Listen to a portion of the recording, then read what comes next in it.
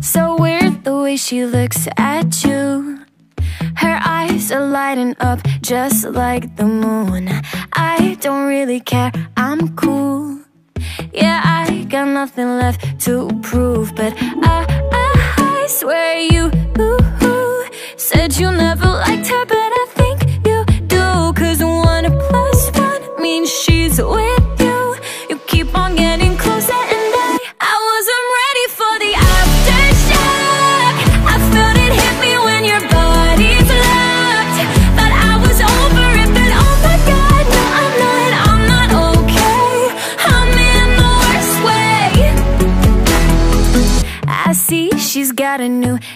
tattoo, so she can look like you do.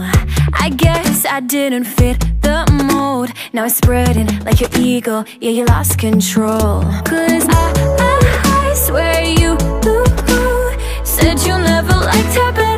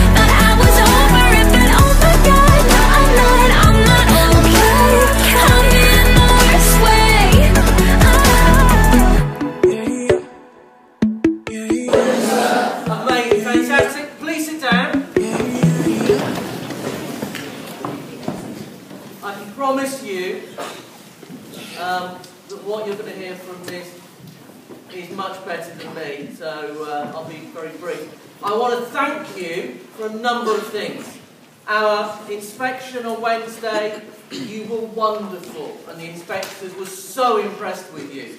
Didn't surprise me at all but they were very impressed. I'm very impressed with the way that you came in today. It's not normal for us to have two-year groups together. It's a bit crowded. You were perfect. You showed each other respect. Brilliant. As you get older, you will hear quite often people talking about missed opportunities. If only I had done that. If only I had listened to some advice. If only I'd been brave enough. If only I had done what I knew I should have done. Today is an opportunity where, if you listen, your life could become much happier. What more can we ask for? If you listen and reflect and act and use your own brain, you can make yourself a much happier person for the rest of your life.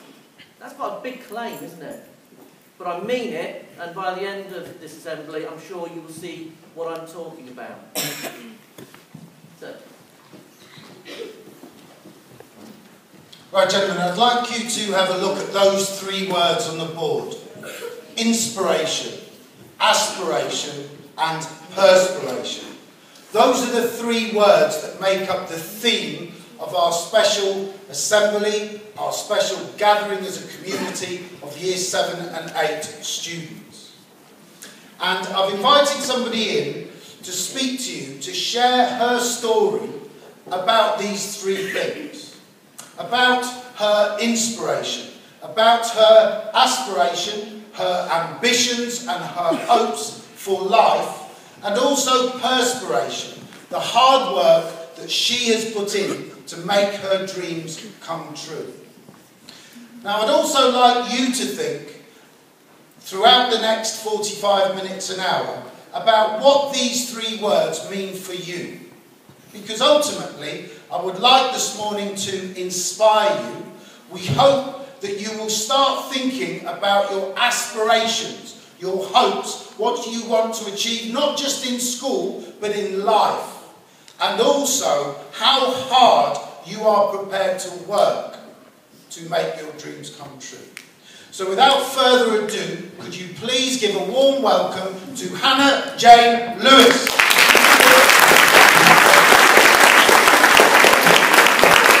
Hello, how are you guys? Are you good? Are you having a good morning? Awesome. So my name is Hannah Jane Lewis and I'm a singer and a songwriter and I'm from London and I've come to sing to you guys today, but I've also come to chat to you a little bit as well. But first of all, I'm going to sing and this first song is a cover.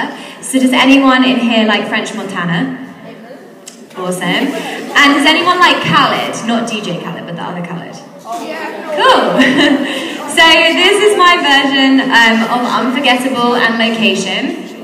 And I hope that you like it and sing along if you know it.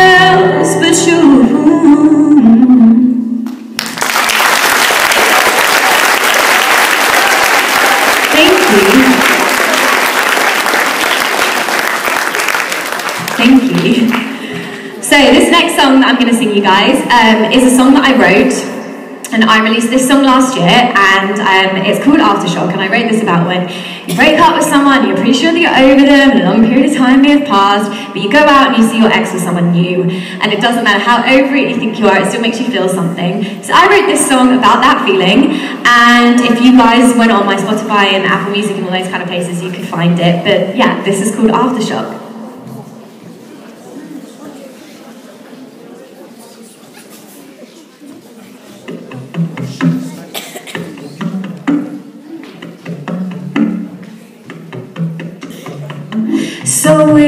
Way she looks at you. Her eyes are lighting up just like the moon. I don't really care, I'm cool. Yeah, I got nothing left to prove, but I, I swear you said you never liked her, but I think you do. Cause one plus one means she's with you. You keep on getting closer.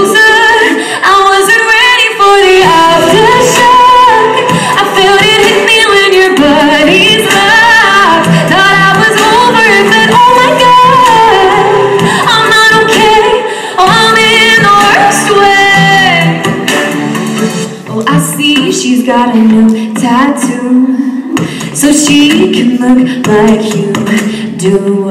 I guess I didn't fit the mold. Now spreading like a eagle, you lost control. Cause I, I swear you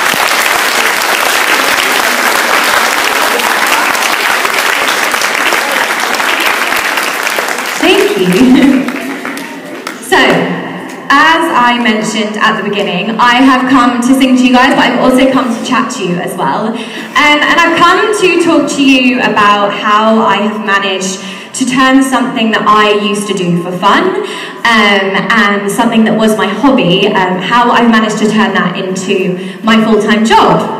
And hopefully that will inspire you guys to stick with some of the things that you love and to know that you can do them no matter how crazy that you might think they are, or no matter how difficult you might think that dream might be to reach. Um, but first of all, I will tell you a little bit about myself um, and how I've ended up doing what I do.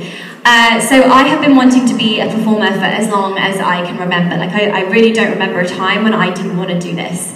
Um, I started taking dance classes when I was three, piano at seven, singing at eight, and acting around the same time as well. So sometimes it kind of feels like it's in my blood to do this, just because I've been doing it for so long.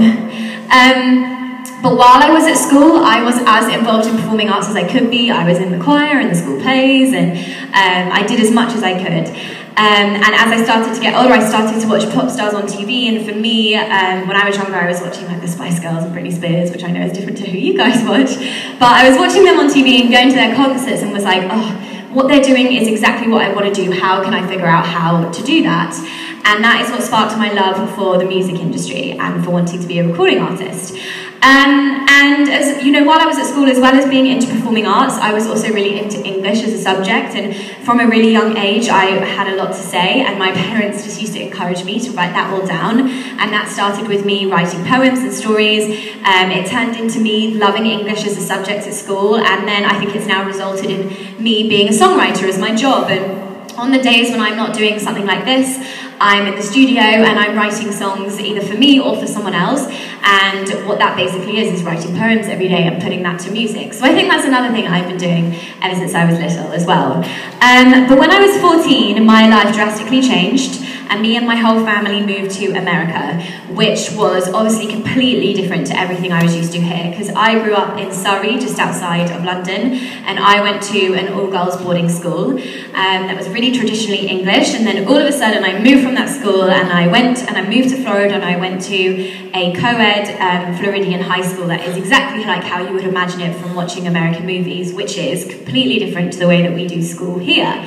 So at first it was a massive culture shock, but I ended up having the best time there and I made the most of it. And while I was there, I kept up with my performing arts. I was really into lots of different sports and I kept up um, with my academics. And when it came time to graduate from high school, I knew that I wanted to go to university, and I decided I was going to study musical theatre or drama because that is what I'd always done. And at that point, my dream was to be on Broadway or to be on West End. So I started auditioning and applying for tons of universities all over America, and there was this one university in particular that I always dreamt of going to since I was little, and it was called NYU in New York City. But I never thought in a million years that I could actually get in. Because one, it's really academic, and I didn't think I was clever enough. And two, if you go there for something like musical theatre, thousands of people apply from all over the world every year, and they only accept 45 people.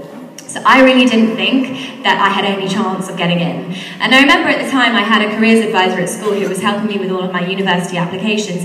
And even she saw NYU on the list and was just like, okay, that's probably not going to happen. That's a bit far fetched, but you know, do it for fun and make sure you really concentrate on these other schools so you have somewhere to go if you don't get into NYU. Um, but it turns out that I actually got into NYU and I got into NYU for musical theatre, which was a massive shock for everyone and mostly for me and also for that careers advisor. Um, and I remember the moment that I found out, my mum called me, I was at school, I was about to play lacrosse match, and my mum called me and she was like, Hannah, I think you've gotten into NYU, you've got this really flimsy acceptance letter, but it looks like you've been accepted, so congratulations. And I was like, no, no, no. I sent it to the wrong person. This is a mistake. This letter was not meant for me. There's no way I've gotten in. Can you call NYU just to make sure this is real? So I made her do that. and where you thought she was completely crazy. They were like, we don't send letters to the wrong people. You can tell her she's been accepted. And she called me back and she told me, and I remember I was I was literally the most excited I've ever been. It was probably like the best day of my life at that point. Um, so I finished high school and I graduated and I moved to New York City without knowing one person there. And I went to NYU and I studied musical theatre and I lived in Manhattan and I studied there for four years. And as well as doing musical theatre, if you go to NYU for something creative, they make you balance it out with all the academics as well. So I would spend three days a week training in musical theatre and the other two days, you know, doing whatever my other academic work was. So it was as important to do both. But while I was training in musical theatre, I realised that as much as I loved it, I didn't love it in the same way as everyone else around me who was also training in it. And I knew that if I wanted to do that as my career, I'd have to love it more than anything else in the world because it's such a hard career path to go down. It takes a lot of dedication. You've got to have a lot of passion. There's a lot of rejection. What would be the point of doing it if it wasn't my number one dream? And at that point, I realised that my dream was to still be in that world, but instead of being on stage singing someone else's song and pretending to be a character, I wanted to be on stage and be me and be singing songs that I had written about things that were happening to me and to be a recording artist. So I graduated from NYU, I finished what I had to do, and by that point my whole family had moved back, back to England. So I decided I was going to move back to England and I was going to try to get into the music industry. And to be completely honest with you guys, when I first tried to do that, when I first moved back here, it was really, really, really hard. I hadn't lived here for eight years, so I didn't really know anyone here anymore. This country was foreign to me all over again. And I had no clue how to get into the music industry. I wasn't born into a family that has anything to do with entertainment at all. My whole family is in cars, which couldn't be more different.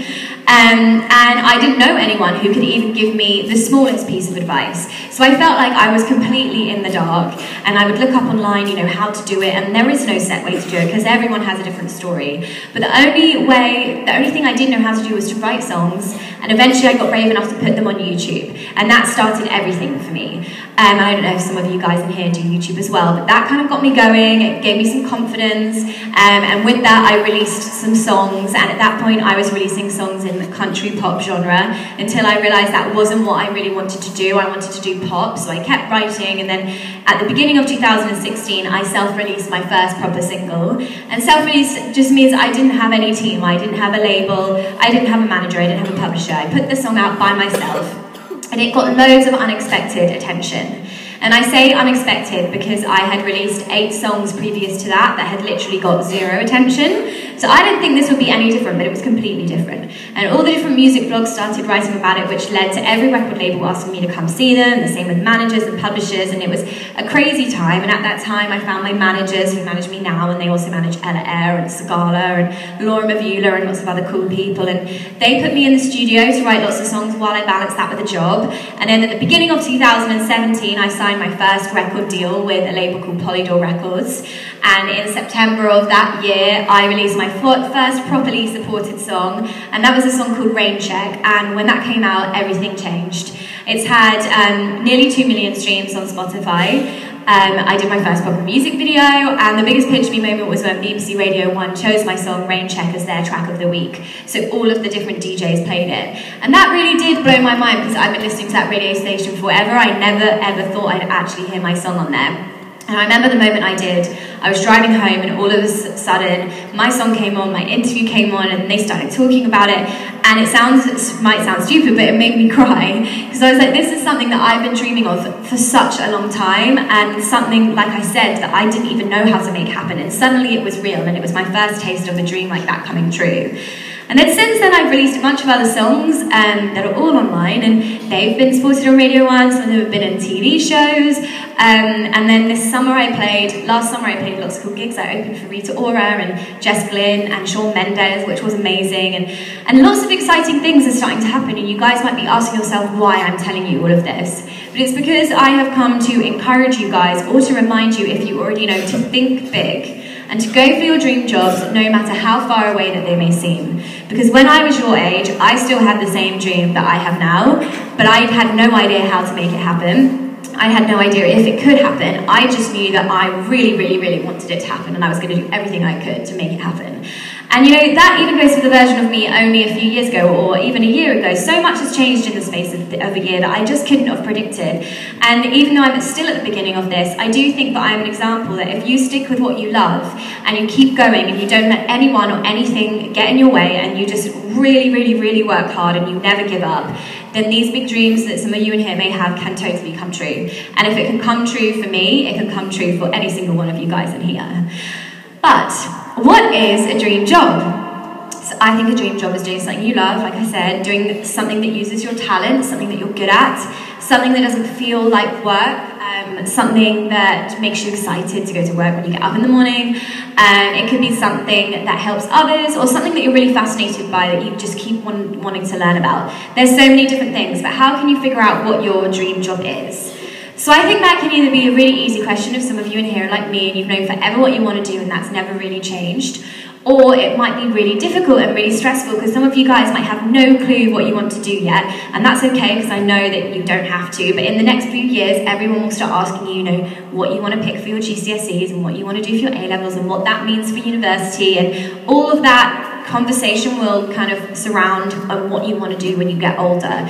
But if you don't know yet, that's totally okay. You have a lot of time, and you know, even if you don't think that you have a passion that you've lo- something that you've loved since you were little, it doesn't mean that you don't have one. It just means you haven't found it yet, and you have to keep exploring lots of different things, and then eventually you will 100% find the thing that you really, really love to do. And it can come at any time, so there's no reason to get stressed. But you can ask yourself some questions to help you um, figure out what your dream job is. You can ask yourself, what are you good at? So when I was younger, I was good at singing and I was good at English. I was good at writing. And those are the two things that I put together and turned into my job now as a singer and a songwriter. You can ask yourself, what are you passionate about? Like, what makes you guys feel excited? What do you do in your spare time? What do you talk about a lot? I talk about this all of the time and I drive my friends and my family crazy, but it's because I'm really, really passionate about it. And you have to figure out what that is for you. You can ask yourself how you can combine your talent and passion in a way that makes sense to you. So, a dream job isn't just something creative like me, it can literally be anything that you want. I had a friend in high school who was amazing at maths, and he went to university and he got a great maths degree. And when he graduated, he got offered lots of typical jobs that you might think that he would. He was going to go into the city and be a banker, an economist, an accountant, and they were all offering him lots of money. But it didn't matter, no matter how much it made sense for him as a mathematician. It wasn't his dream to do that. He'd always looked up to his dad, who was in the Navy. So he did a bit of research to see if there was anything in that department that could use his skills as a mathematician. And it turns out that there was, and he is now the maths mastermind behind some of the biggest Navy missions in the world that he can't tell anyone about, obviously. He can't tell anyone where he is in the world half the time. But he has this really, really cool, unconventional job using his math skills in a really different way. Like, I had no idea that a mathematician was behind, you know, those big Navy missions. Um, and I know that he also had the opportunity to go work at NASA, which would have been equally as cool. So if you know in here that you might be really, really good at a subject, but the typical jobs that go along with it don't really interest you, it doesn't mean that you should give the subject up. It just means that you need to think creatively, think outside the box, like dig a little deeper, and eventually you'll find the thing that you really love. Um, but I think the most important question to ask yourself, and if it's the only thing that you remember from today, then that's fine with me, is what do you guys want to do? Before you start thinking about what everyone else around you is doing, or what everyone else wants you to do. And I think that's especially important for your age because, like I said, ever since I was literally three years old, I've been used to being picked up after school and been taken to some sort of performing arts class. And I never complained because I was doing the thing that I loved. Until I got to your age. Because every time I was being picked up and taken to those places, I was being taken away from my friends who were all interested in the same thing and going and doing something else after school that I was not part of. And I would be picked up and I'd be taken to these places and I'd be with people I wasn't necessarily good friends with, and I just felt like I was missing out continually. Um, and I remember one day after school, I got in the car to go to dance, and I was annoyed that I even had to leave school. And I got in the car and I was like, Mum, I want to quit. And she said, No. She was like, I'm not going to let you quit because I know that the only reason that you want to quit is because you're worried about what everyone else is around, around you is doing right now. So I'm going to make you keep doing this for the next few months because that's not a good enough reason to quit. And then if at that point you really want to finish this, then obviously you can. But for now, you're not quitting and we are going to dance. And I am so genuinely thankful that my mum did that for me because that I, I know that if she hadn't of, there's a really high chance that I would have quit everything that I loved right there and then just because I wanted to do the same thing as everyone else or just because I didn't want to miss out on what everyone else around me was doing. And that would 100% be my biggest regret because I wouldn't be here sitting talking to you guys now. I wouldn't have Open for Rita Ora. I wouldn't hear my song on the radio. None of those things would have happened because I would have given up on my dream too soon for not a good enough reason. And I saw that happen to loads of my friends who don't do what they're passionate about now. And you know, the feeling of wanting to, to be with everyone else and do what everyone else around you is doing, but they don't. It takes time, and there's nothing wrong with that. Um, I'm going to keep chatting to you guys, but I'm going to sing you a quick song. Um, and then I'm going to sing to you at the end as well. But this next song is a cover of a song called Issues by Julia Michaels.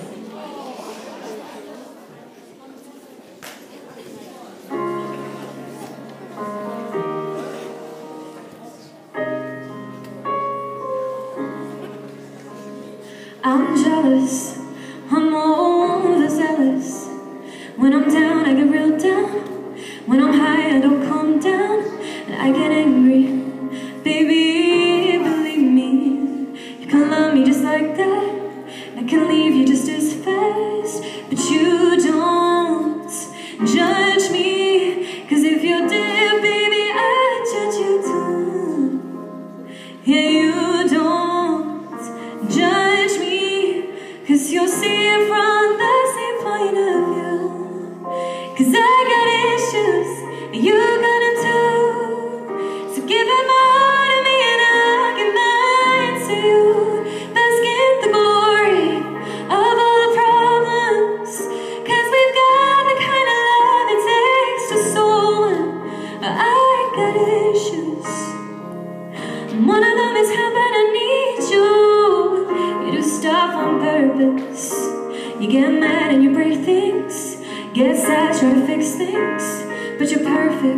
Of only wide circuit. You got hands like an ocean. Push me up, pull me back in. But you don't judge me. Cause if you did,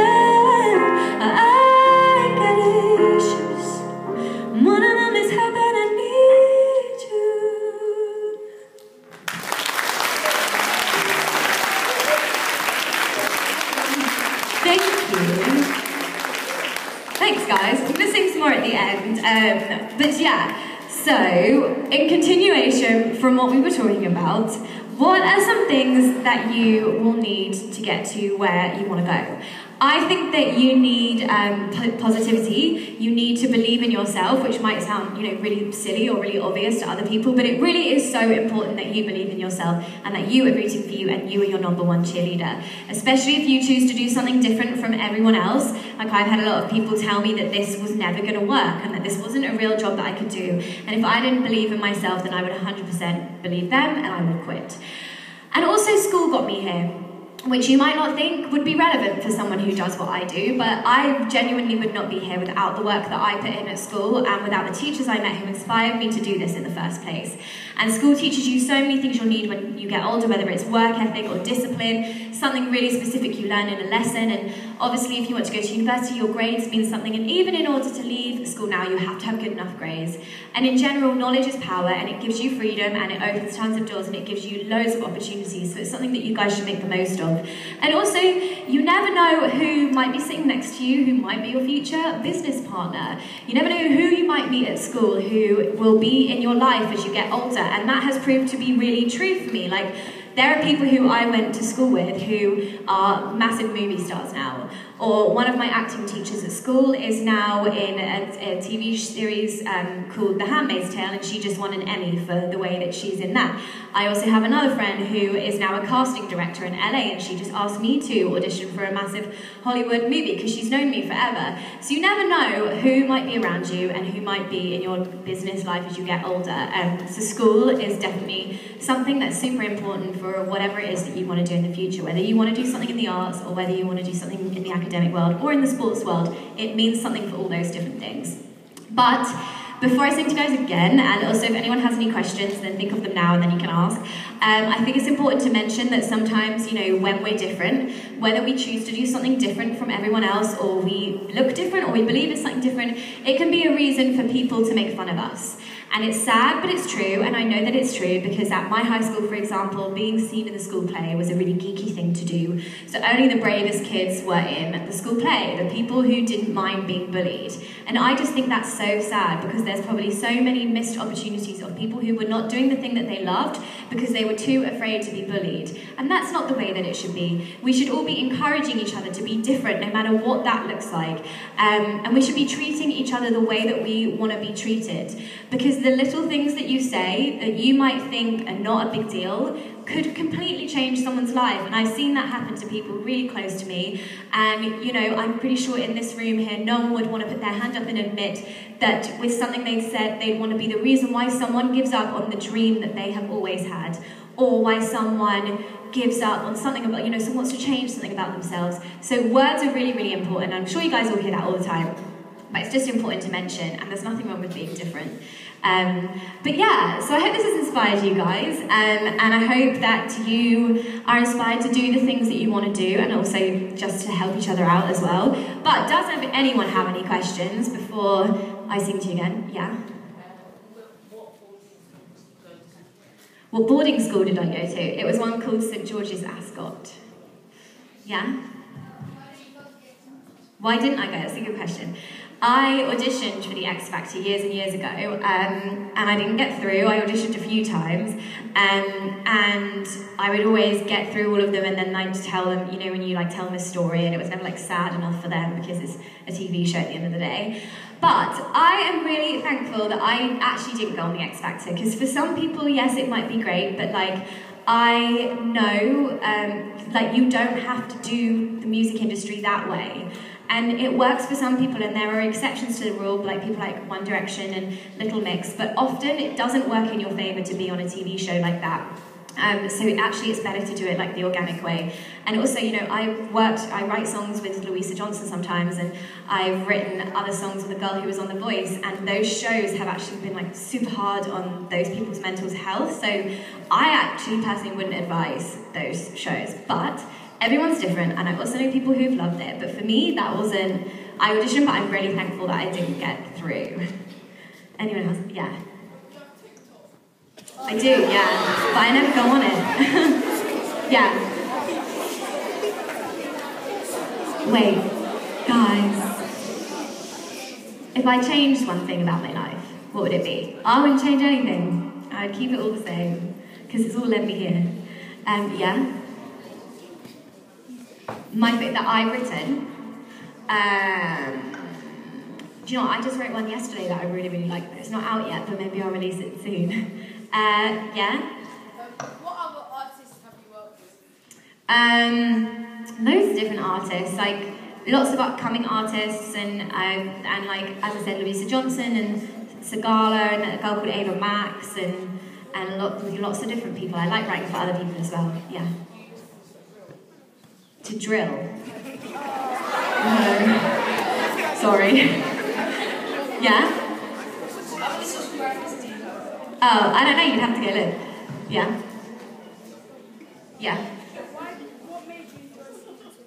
Huh? What made you enjoy singing so much?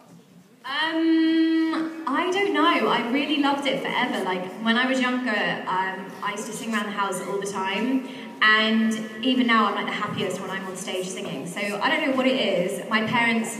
I grew up in a house where everyone was playing music a lot, even though no one was a musician. So maybe it's just kind of something that I listen to and just like doing because of my surroundings. Any other questions?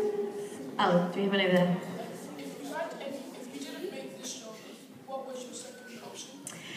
Um, I actually didn't have a plan B because I one time when I was at university, I someone from Broadway came in and spoke to, us, and they gave this advice. It was like, and maybe I don't know. They were like, don't have a plan B because you'll fall on plan B, and you won't do plan A because you'll know that plan B exists. And that's actually proven to be true for me. Like whenever thing, whenever like there's no other option than for me to just go for what I'm doing, I always do the best. So I did go to university, so obviously I have a degree to fall back on, and I could probably do lots of other things. But I never imagined doing anything else other than this. Yeah. Why did you move to? Um, because my I my family had a, a holiday home there from when I was like six or seven, and I we went out there all the time. So we kind of had a life out there, and we just wanted to move. So it wasn't actually because my dad got a job there or anything like that. It was just because we wanted to move to Florida. Um, so yeah. Right, Hannah, we've got uh, time for one more song. Okay, cool. All right, well, thank you guys for your questions. It was lovely to meet you. Um, and this next song is my last single, and this song is called Do It Without You.